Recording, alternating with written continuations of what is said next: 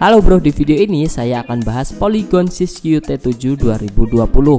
Sebelum ke situ saya mau flashback dulu ke awal mula persiskiyuan T ini.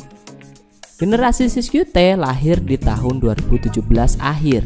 Terbagi dua pilihan yaitu Siskiyou T7 dan T8. Saat itu T7 dengan warna hijau tua kombinasi orange.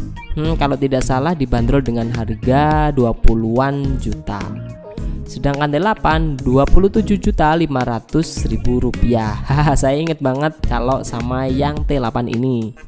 Dan ada juga tuh yang hitam sama stripping kayak hijau gitu, hijau cerah, Florent.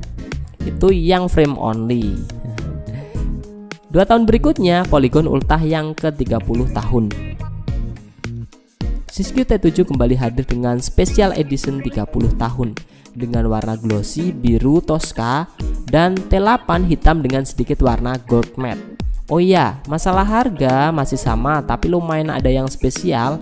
Biasanya grup set pakai Persimanuan, ini pakai SRAM. Setahun berikutnya alias setelah 3 tahun Siskiyou T lahir, keluarlah Siskiyou T generasi kedua.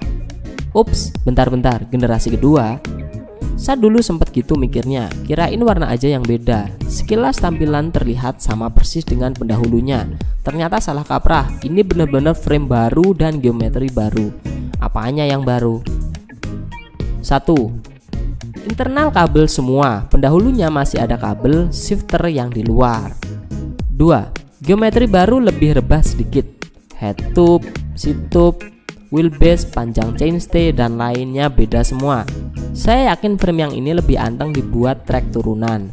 Sayangnya T7 ini sedikit kontroversi mengenai warna yang sangat mirip dengan track slash. Meskipun T7 sedikit meleset indikasi hitam bagian bawah, tapi menurut saya sih itu masih sama. Saya lebih mengapresiasi kakaknya yang dipercakup warna ungu dan stiker yang sangat cakep boys lah, keren ini. T7 ini masih standar bawaan pabrik dengan fork Recon RL Boost Travel 150 mili. Rear shock RockShox Delak 210 x 55 mili. Oh ya nih, pendahulunya rear shock masih pakai Exfusion jadi menurut saya sangat wajar dengan kenaikan harga sekitar 3.500-an.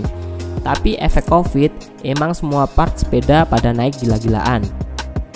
Grup set kembali pakai Persimanuan, rem Tektro HD M735 Stang dan stem masih andalan pakai Entity 780 mili. Wheelset XL2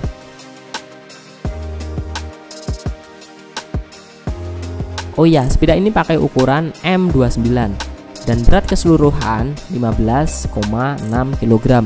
Sedikit lebih berat, setengah kilo lah daripada T8. Siskiyou T7 terbaru ini menurut saya masih di rentang harga yang wajar dan bisa diupayakan yaitu dibanderol 24 juta rupiah. Dan Siskiyou T8 di harga 31 juta rupiah.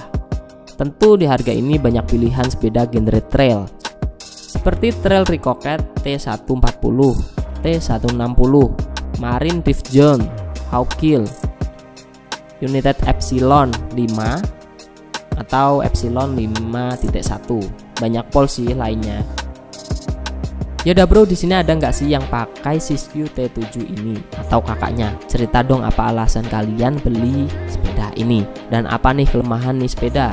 Coba cerita ya. Sampai jumpa di video selanjutnya. Dadah.